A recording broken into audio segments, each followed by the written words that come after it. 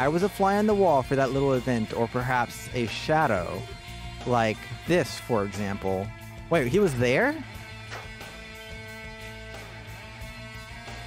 You were in the Dalmore mansion? What?